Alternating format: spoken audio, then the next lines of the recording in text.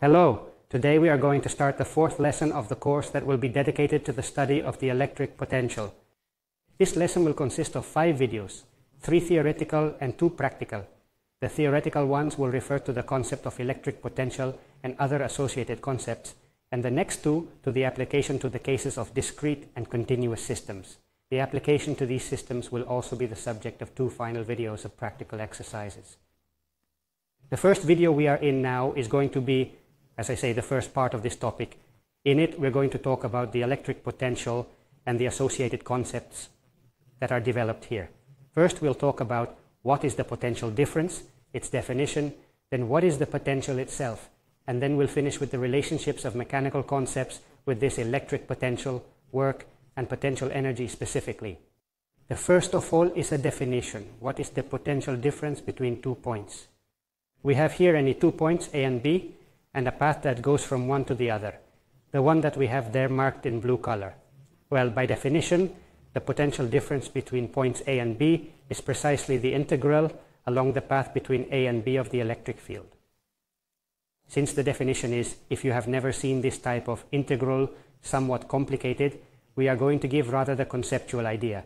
It is that in any point of that trajectory, an electric field will exist. We will travel an infinitesimal differential segment of R. And what we have to do is the scalar product of both vectors. This scalar product must be done for the infinite segments that constitute the curve.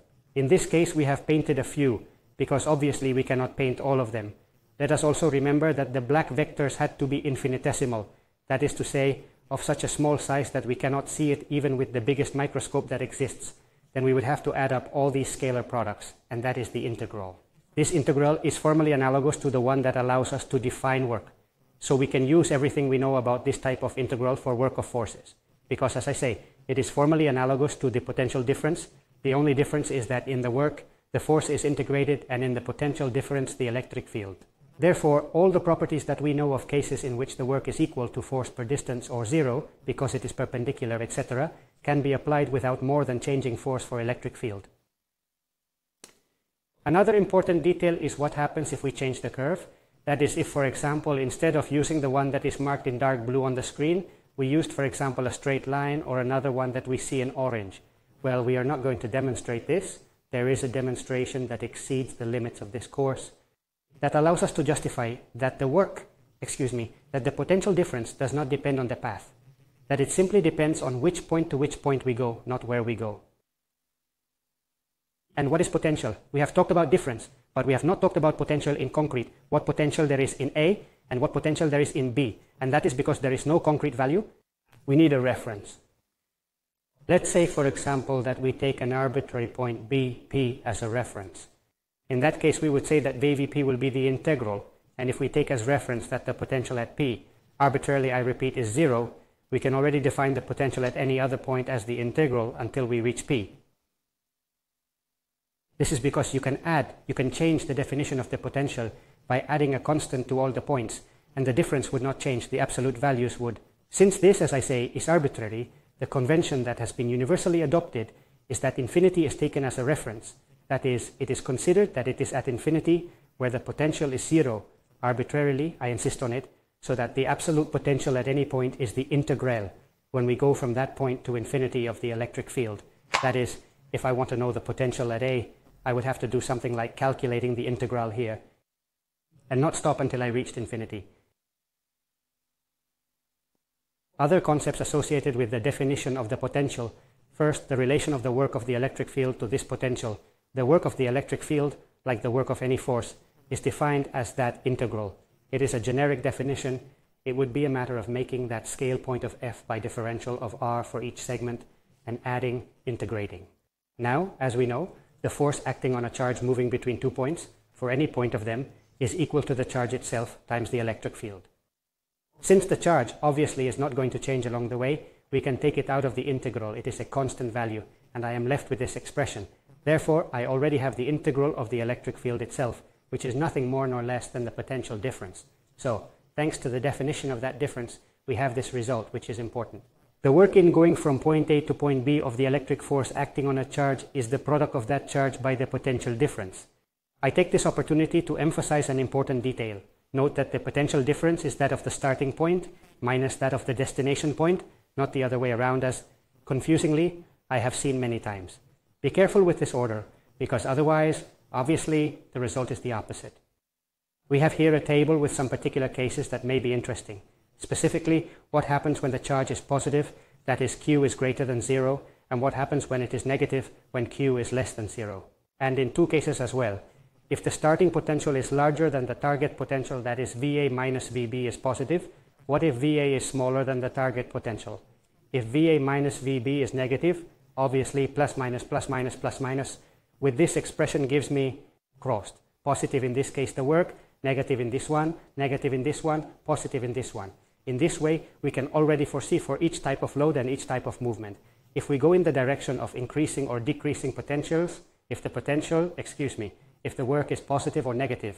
Since the systems subjected to a single force tend to evolve in the sense in which the work is positive, it means that the positive charges, their natural tendency, if nothing, forces them to something else, is to move in the sense in which the potential decreases.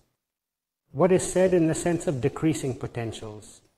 The opposite happens with the negative ones, which tend to move in the direction of increasing potentials, in moving spontaneously towards where the potential is greater. Moreover, this relationship between work and potential difference allows me to do something I have not yet done, which is to define the unit of potential.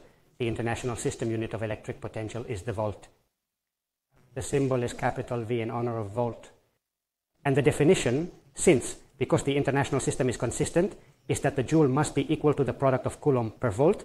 The international unit of work must be the charge times the potential. That allows me to define the volt from the joule and the coulomb as follows. It is called volt to the potential difference between two points, such that when taking from one to the other a charge of one coulomb, the work done by the electric field is one joule. Another detail about this expression that we have just deduced, we can realize, we have already mentioned it anyway, that the work of the force exerted by the electric field does not depend on the path. The path does not intervene anywhere. Here appears the charge that we move, from which point we come and to which point we go. It does not appear anywhere any reference to where we are traveling. I repeat, therefore, the work does not depend on the path, and this is the definition precisely of what is called a conservative force field. Therefore, the electric force is conservative. And since it is conservative by the properties known from mechanics, that means that it has a potential energy associated with it. Moreover, from mechanics, we also know that in the case of a force being conservative, the work between two points is the potential energy of the starting point minus the potential energy of the destination point. Developing then the expression we have derived above and decomposing it into two terms, we have only to compare the upper equation with the lower one, and it is quite clear who is the potential energy at A, who is the potential energy at B, and therefore, what is the general expression of the potential energy. This potential energy is the product of the charge we are moving times the potential at each point. Well, with this, we can go on to summarize what we've seen today. First, that the potential difference by definition is the integral that appears here. Remember also the order. Note that it is not the usual order that we know a definite integral, which is upper minus lower bound, but lower minus upper. Second, that the potential at any point is calculated by this integral taking infinity as a reference. Third, the deduced expression of the electric field work as product of charge by potential difference. And fourth, what is the electric potential energy that has it and is product of charge by potential? Thank you very much for your attention.